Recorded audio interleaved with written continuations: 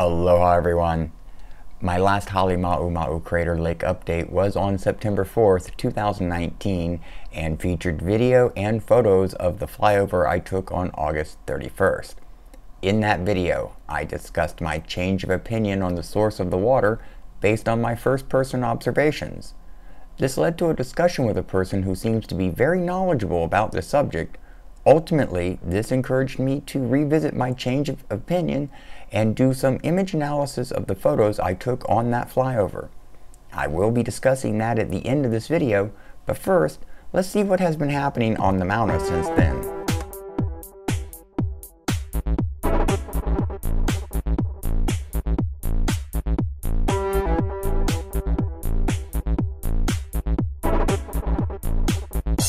To start this report, I am going to go back to September 5th, 2019, where we left off in my last update. Now, day-to-day -day changes are extremely challenging to measure, but not impossible. With the right high-resolution camera, lenses, and identical settings, a photo from the same spot at the same time of day, every day, can yield a ton of measurable data. Unfortunately, I do not have access to real-time data streams such as that so I must depend on the only data available to me. Now on the 5th, the USGS released this photo comparison of the growing lake.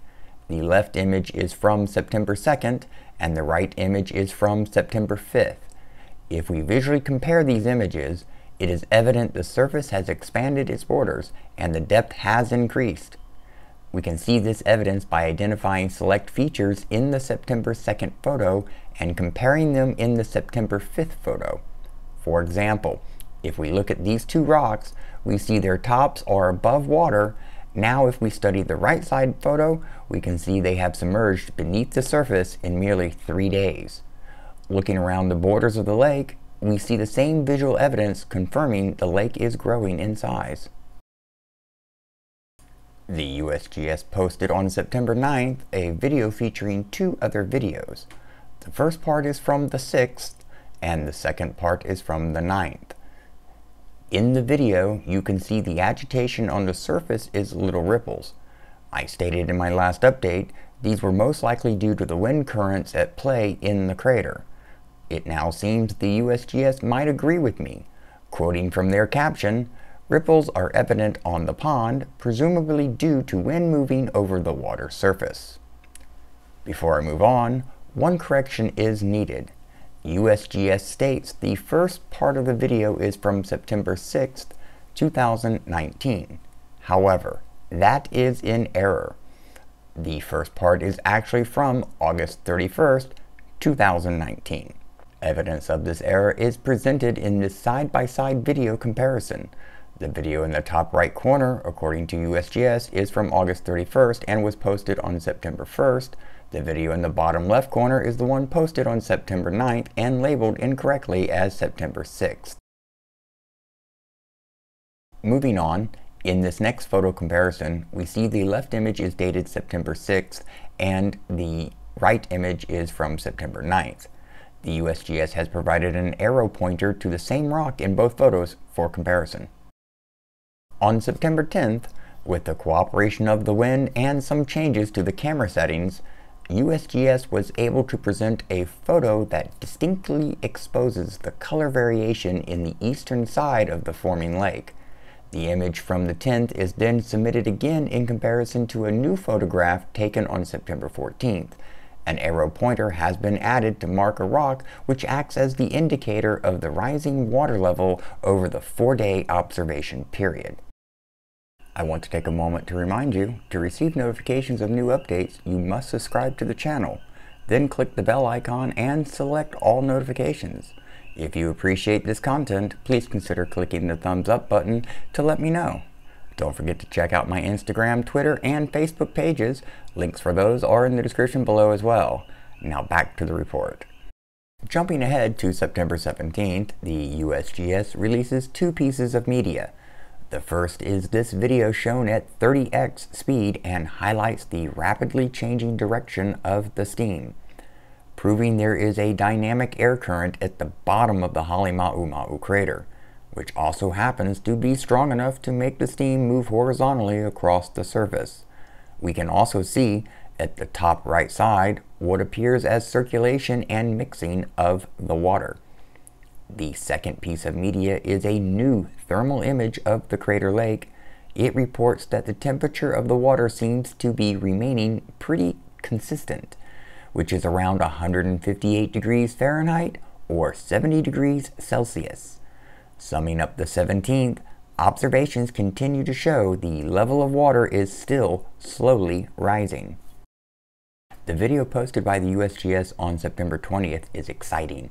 It seems to confirm my original assessment that certain areas along the borders of the water body are indeed locations of the influx of water.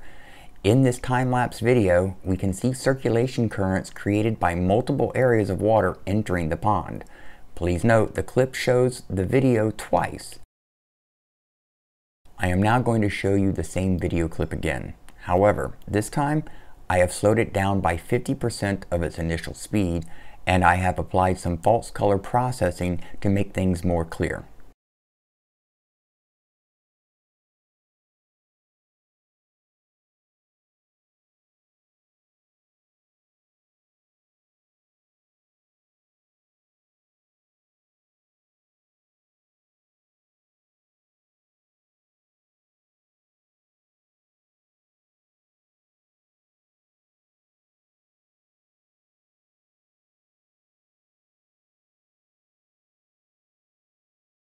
September 22nd, the USGS released another time-lapse video covering about 30 minutes of activity. This video shows that the water seems to flow into the new lake from multiple locations around the edges. Again, please note, this clip shows the video twice.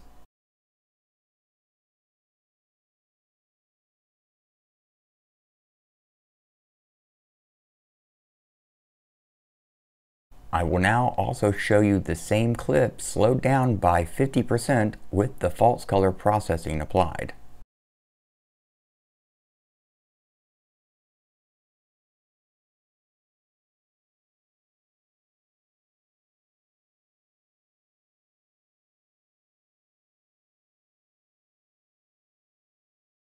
Moving forward, on September 24th, the HVO field engineers and other staff proceeded to conduct the quarterly work at the Keller Well. It is a deep borehole at the summit of Kilauea which reaches the local water table. The top of the water table measured at a depth of 1,657 feet or 505 meters below the ground surface. Water samples are being taken to measure the chemical composition and track changes in that composition over time. Wrapping up the Halemaumau Crater Lake report, we move to September 25th. Using the laser rangefinder, USGS has determined the approximate size of the lake. Measurements are 360 feet or 110 meters long, and around 164 feet or 50 meters wide, and 33 feet or 10 meters deep. With some simple math, we can calculate a water surface area of roughly 59,040 square feet, which is equivalent to 1.35 acres of surface area. You could say it is now the size of a U.S. football field, including the end zones. Now I would like to hear from you. How much bigger do you think this crater lake will grow? And what would it mean for the future of the volcano if it does? Let me know in the comments below. In part 2 of this report, I am going to discuss my reassessment of the source of water filling the crater as I mentioned at the beginning of the video. When the new lake was forming, I agreed with the USGS that the primary source of water was coming from the local groundwater table, and rain runoff was a minor contributor if any at all. On August 31st, I flew over the crater and was able to conduct my own personal visual and photographic observations. Once I returned home and analyzed the photographic and video evidence, I changed my opinion and stated that I believe rain runoff was more of a contributor, but not the only contributor compared to what the USGS thought. It was that video in which I discussed this that triggered the conversation between the person I mentioned in the beginning and me. This conversation encouraged me to revisit my assessment, and I did. However, even after doing that, I still have to say, It is my opinion that surface water runoff is a significant contributor to the accumulating water in the crater, though it is not the only source, the other being groundwater seepage. Here is why I have formed this opinion. During my flyover on August 31st, I took this photograph. On review, I quickly noticed the color variations of the water. Some areas were a darker blue-green as compared to other areas being a brighter yellow-green. I then had just one question. Why? What is making the difference in these areas of the water? To help answer this question, I applied a false color spectrum enhancement to the image. Immediately, multiple features got my attention. The first is the locations that appear to be where the water is entering the lake. These yellow arrows indicate the areas I believe are the entry points. Secondly, the variation of the water color seems to signify different concentrations of what I think is mainly sulfur. The darker blue areas are locations where the water is entering with very little sulfur pre-dissolved. The brighter blue areas are where water heavy with sulfur is joining the lake. The next feature that got my attention is this fluorescent green stripe that is traveling from the edge of the water upwards towards the rim of the crater. I now wanted to know where that stripe of green progressed, so I grabbed this image and applied the same false color spectrum enhancement. So where does it go? It travels straight up to one of the steaming sulfur fumaroles. That most likely means the stripe is from sulfur being washed down the crater side by some form of water. Could groundwater cause this instead of surface water? I don't believe so. Groundwater would have to exit the top of the rim, then flow down the inside of the crater's surface. Interestingly enough, we see on the right side of the crater the same visual pattern without the sulfur-stained surface. That also happens to be the side of the lake that seems to have fresher water or less sulfur added water entering the water body. Looking at all this, what tells me the surface rainwater is significantly at play here is the sulfur. One side has water with large amounts of dissolved sulfur, while the opposite side of the lake does not add the visual evidence of rain traveling down the crater surface, illustrated by the sulfur-stained stripe to the water, I believe it would be safe to say that rain or some form of surface water is definitely at work here. Though, that is not to say it is the only force at work. Groundwater should be entering the system as well, just based on the fact of its elevated nature above the bottom of the crater. Well, that'll do it for this Halemaumau Crater Lake report. Mahalo for watching, and I hope you found it both informative as well as entertaining. Until next time, have an incredible morning, afternoon, or evening.